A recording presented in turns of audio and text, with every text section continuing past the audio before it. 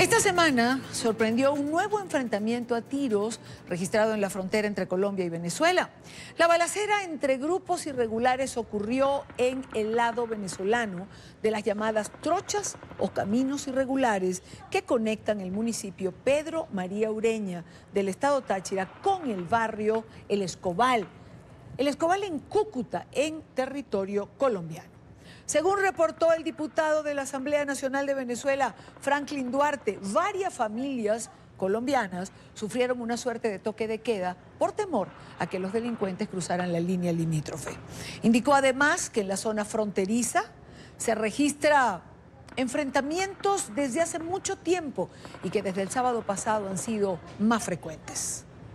Frontera del Táchira en los últimos días, en este año 2019, se han visto cosas que nunca se han visto. Por ejemplo, alguien ha visto las noticias donde se habla de, inclusive de decapitaciones. Han dejado cabezas humanas cerca del comando de la Guardia en Ureña. Han encontrado cabezas humanas en las trochas de Ureña. Y, vemos que los cuerpos de seguridad responsables en la materia, en la zona fronteriza, en el resguardo de nuestra soberanía nacional, como en la Fuerza Armada Nacional, no actúan no actúa. Yo creo que es el momento que los responsables hoy de la Fuerza Armada Nacional y de los cuerpos policiales de Venezuela dejen a un lado su actividad política y le presten la seguridad a los venezolanos y en este caso a la frontera del Táchira. La frontera que las familias tachirenses, las familias de los municipios fronterizos están viviendo en zozobra, están en terrorismo. Allí hay un terrorismo cuando son las 5 o 9 minutos en la costa este de los Estados Unidos, saludamos a Sebastiana Barraes, periodista, Infobae, punto de corte, periodista especializada en el área militar e invitada frecuente de este programa. Sebastiana, buena tarde para ti. Buenas tardes, Irania. Un saludo. Tengo eh, problemas con el audio de Sebastiana. Eh, por favor, vamos a, chequear, no, no le estaba yo oyendo bien. Sebastiana, ¿en qué se ha convertido la frontera? Eh, ¿En territorio de grupos irregulares? Y me refiero a la frontera colombo-venezolana, por supuesto. Sí, no solamente desde este momento. en estos últimos días tenemos un problema ya de ocupación del territorio en la frontera venezolana con Colombia, específicamente en el caso de los estados Táchira, Zulia, Apure y en menor grado en Amazonas. Pero la situación particular en Táchira y en Zulia y Dania y, y mi estimada audiencia es sumamente grave. Lo que ha venido ocurriendo en la última semana es sencillamente la demostración de que el territorio venezolano está en manos de grupos irregulares armados, tanto de la guerrilla como del em, narcotráfico y de los eh, paramilitares. Y ante eso, la Fuerza Armada Nacional Bolivariana no ha tenido la suficiente fuerza y la suficiente em, preparación operativa para poder actuar ante estos grupos que se han apropiado del territorio fronterizo. Mm, Zulia y Táchira son los, son los estados eh, que tú identificas eh, digamos, con la situación más crítica, ambos frontera con Colombia. Eh, Sebastiana, ¿se puede identificar cuáles son los grupos predominantes, quiénes lo conforman? Sí, sin duda alguna. los grupos que tradicionalmente habían funcionado, es decir, tanto paramilitares como guerrillas, se habían dividido el territorio. ¿Cuál es el problema ahora?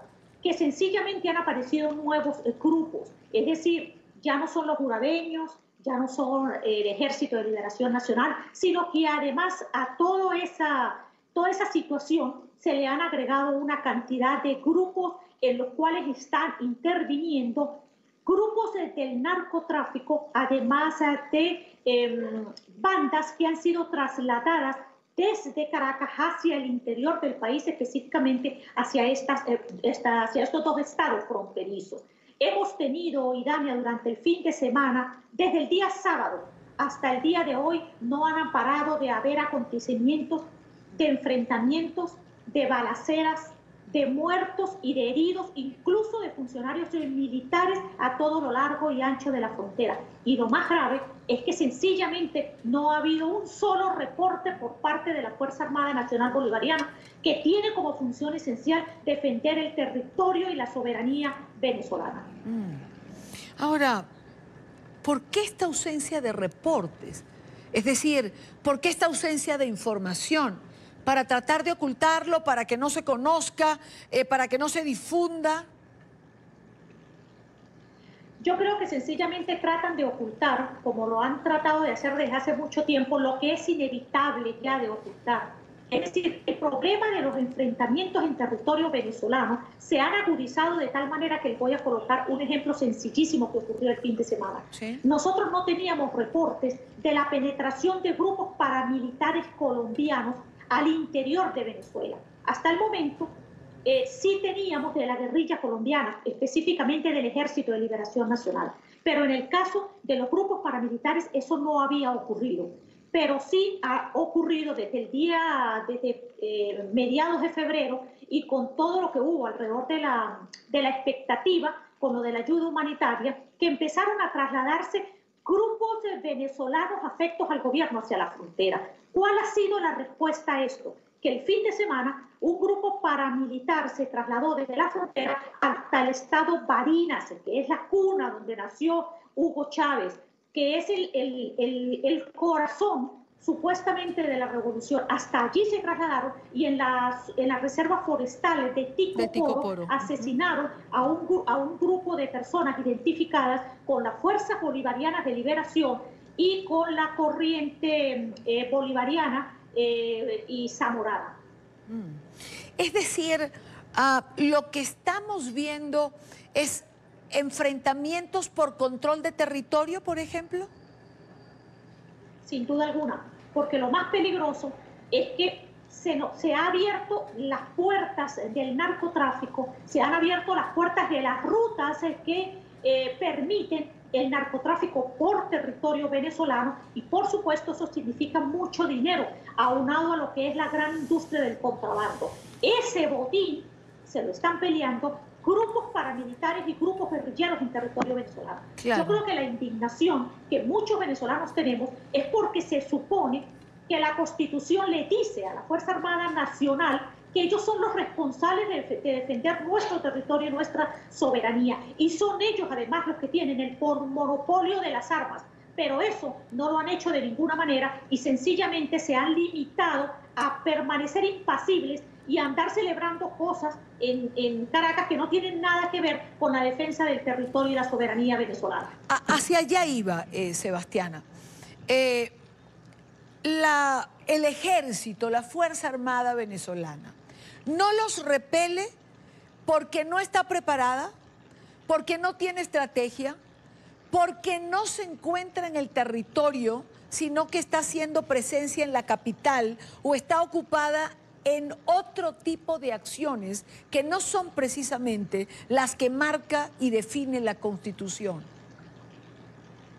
Yo creo que fundamentalmente es eso último, creo que sencillamente la Fuerza Armada terminó desdibujándose, ya no sabe cumplir con sus funciones esenciales, se ha concretado a creer que la celebración del cumpleaños de Hugo Chávez es más importante que la defensa del territorio y la soberanía. Se ha limitado a aceptar en nuestro territorio bandas armadas con la premisa de que van a defender la revolución, como está ocurriendo con el Ejército de Liberación Nacional en los estados fronterizos, pero también en estados centrales del país e incluso en el estado Bolívar. La Fuerza Armada iraña sencillamente en este sentido perdió el norte. La Fuerza Armada no sabe cómo reaccionar ante los grupos paramilitares y ante los grupos guerrilleros que están instalados en territorio.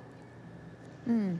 Ahora, eh, Sebastiana, si no sabe cómo reaccionar, si la Fuerza Armada perdió, el norte, si no sabe cómo combatir estos grupos, te hago una pregunta, ¿cómo evitar que de la frontera vayan caminando hacia el centro de Venezuela, vayan extendiéndose y expandiendo su presencia y sus acciones en el resto de la geografía nacional más allá de la línea fronteriza?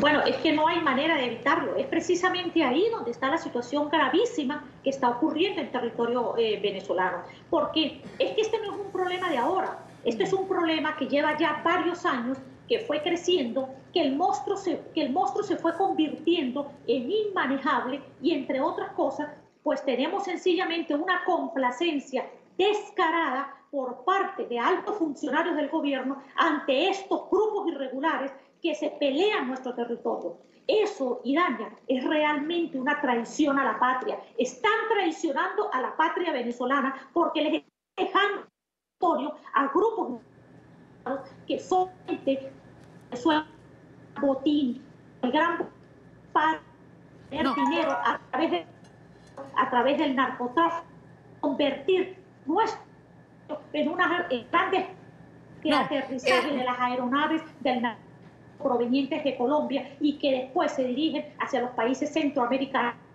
hacia el norte del continente. Mm. Ahora, eh, Sebastiana, ¿qué, papel eh, juega la guerrilla colombiana, es decir, el ELN que también ha tomado el territorio, la disidencia de las FARC. ¿Qué pasó en ese incidente, por ejemplo, en que eh, miembros de la Fuerza Armada venezolana terminan abatiendo a dos eh, hombres ligados, uno colombiano y un venezolano, eh, a las FARC? Es más, se dice que ligados a Jesús Santrich.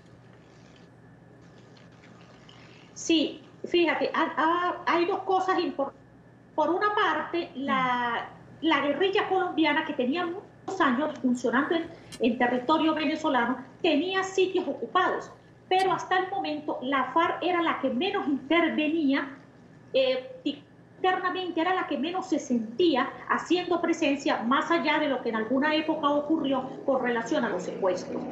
El problema es que cuando ahora el Ejército de Liberación Nacional, digo ahora desde hace un año más o menos, muy relacionado a las armadas nacionales, es decir, a nuestro ejército, y aparece además muy relacionado con sectores políticos del país, eh, contando con la complacencia del gobierno nacional y de la propia Fuerza Armada, pues bueno, sencillamente lo que hicimos fue abrirle las puertas, permitirles que funcionaran en nuestro territorio abiertamente, y hay sectores tan dramáticos, por lo menos como lo que ocurre en el pueblo de Encontrado, del, estado Zulia, donde la, Armada venezolana le presta, le permite que la guerrilla del ELN use sus em, unidades eh, eh, em, marítimas para eh, supuestamente que vigilar el territorio. Es decir, nosotros estamos permitiendo a fuerzas irregulares extranjeras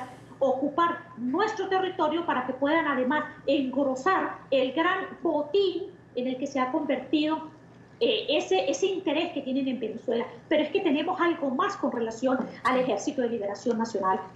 En, en el último año, el ELN ha crecido de manera desmesurada porque ha logrado captar a gran cantidad de combatientes, a gran cantidad de indígenas de muchachos jóvenes a todo lo largo de la frontera, de muchachos que ante la situación crítica del país, eh, tanto eh, hombres como, como mujeres, pues sencillamente ingresan a estos grupos porque reciben ofertas atractivas para ser parte de esta organización.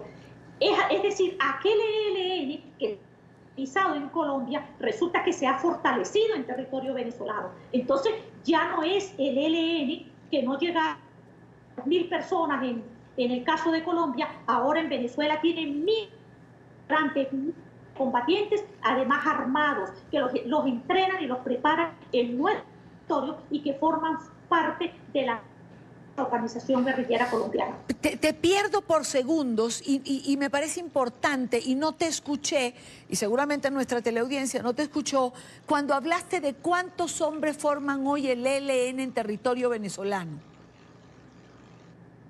Mira, no lo tenemos cuantificado, pero son sencillamente miles y son superiores a los que tenían en territorio colombiano. Porque, como eh, explico, por ejemplo, del Zulia y de Amazonas han logrado captar incluso hasta indígenas, que eran algo así como una parte de eh, intocable. Bueno, del Ejército de Liberación Nacional. Tenemos a muchísimos jóvenes que sencillamente ante la situación de crisis que vive el país pues han encontrado en el Ejército de Liberación Nacional un factor de empleo, porque además lo que les ofrecen económicamente hablando, sí. eh, entrenamiento, es armamento y es unidades eh, para poderse desplazar dentro del país. Es una situación grave, una situación grave, porque aparte de la tierra arrasada en la que se ha convertido Venezuela, donde nada funciona, donde nada está bien, entonces ahora también nos convertimos en santuario de grupos criminales al margen de la ley y de la disidencia de las guerrillas colombianas que se acogieron al proceso de paz en Colombia. Sebastiana, como siempre, un gusto y gracias por atendernos. Gracias a ti, Dania, y a la audiencia. Buenas tardes. Un abrazo.